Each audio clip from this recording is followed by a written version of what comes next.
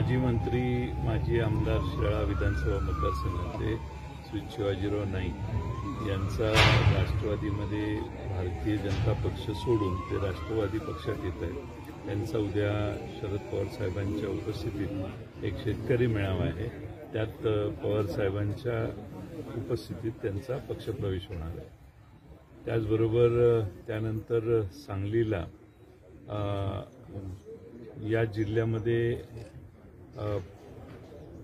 जे आरोग्य केंद्र आहेत ती मॉडेल आरोग्य केंद्र करायची.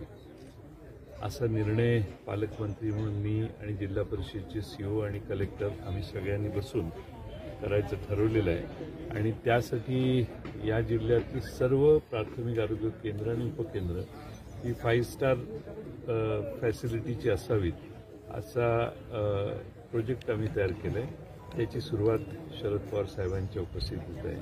आणि सर्वात महत्त्वाचा कार्यक्रम जो इथं सांगलीला होणार आहे तो म्हणजे पुण्यश्लोक अहिल्यादेवी होळकर यांचं जे स्मारक या ठिकाणी उभं करण्यात आलेलं आहे ते लोकार्पण करण्याचा सोहळा या ठिकाणी माननीय शरद पवार साहेबांच्या हस्ते होणार आहे. आणि माजी मंत्री ज्येष्ठ नेते अण्णासाहेब डांगे आणि अनेक मान्यवर नेते मंत्री यांच्या उपस्थितीत हा सोहळा उद्या होणार आहे. आणि या यानंतर शरद पवार साहेब कोल्हापूर जिल्ह्यातल्या दौऱ्यावर